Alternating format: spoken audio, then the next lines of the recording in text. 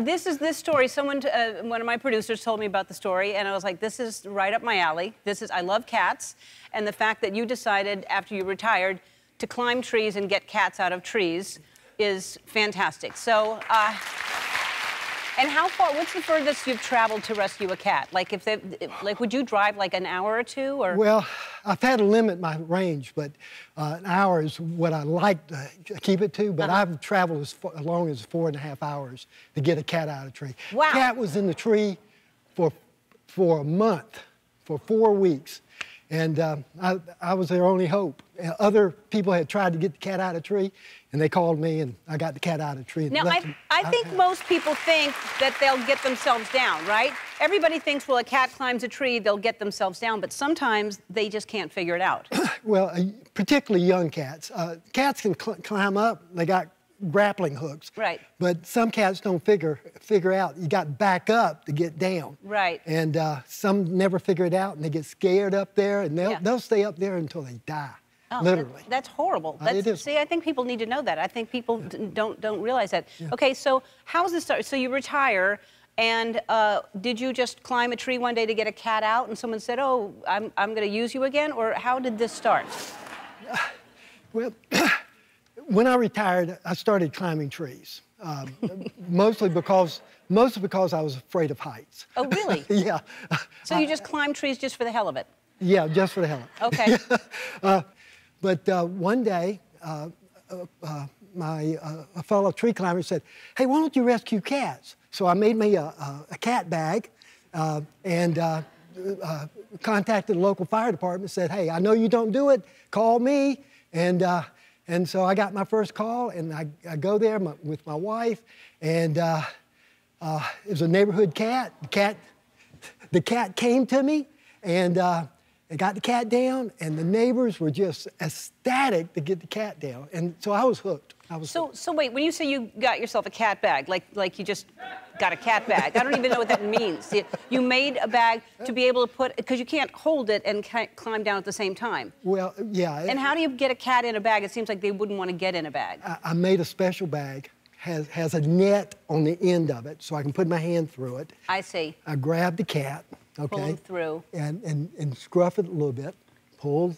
bag over the cat, How clever is that? and uh, then sense it, Right. and then I got the cat in the bag.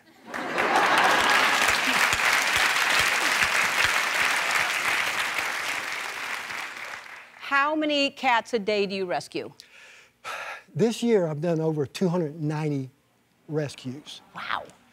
And and how do you usually get up? Do you bring a ladder or do you use a rope or how do you usually get up the tree that high?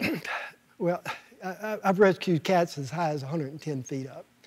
And so I get my rope up in the tree, and there's a special technique in order to get that rope up in the tree. But literally, I climb the rope. Well, you've overcome your fear if you're going 110 feet up in a tree. Yes, That's uh-huh. quite overcoming. Yeah, uh, yeah, That's amazing. So you've been married 50 years. Your wife is in the audience. Mm-hmm. Your wife did not believe when we called. She thought we were someone was trying to scam you, right? Yeah. Nope. it's no scam. I just think what he does is amazing. I love stories like this. Um, we're going to take a break. More with Normer after this. We're back with cat rescuer Normer Adams. And uh, so if you're in the Fayetteville, Georgia area, this is the guy that. Um, how, do, how do people find you? Like if people are interested and they, they see the show right now, how do they, just Normer Adams, they look you up? Uh, I, got, I, got- I got a Facebook page called Cat Man Do Rescue. Kathmandu. Yeah. Um, uh, that, and that's how most of them get. All right, Kathmandu contact. Rescue. And I asked him if he has cats, and he has two, and he keeps them inside so that they can't climb trees.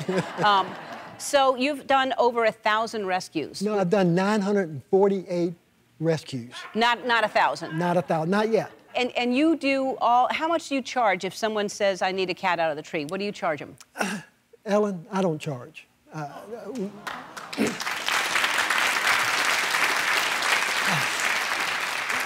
when I retired, I said I will never work again as an employee.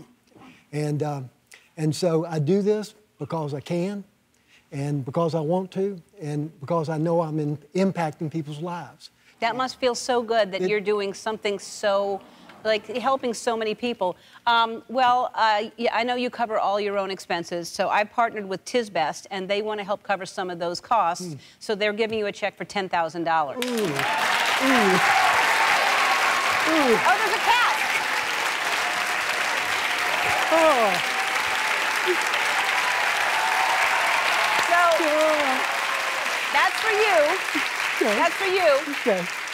And TisBest charity gift cards are a better gift for any occasion, so they want to give you also a gift card, a $5,000 gift card, so you can donate to any charity of your oh, choice. Okay. Oh. Oh. Thank you, thank you, Oh, thank you're you. welcome. Oh, you're welcome. You're welcome. All right. Also, there's something else we wanted to give you a few items uh, to add to your Cat Man Do collection.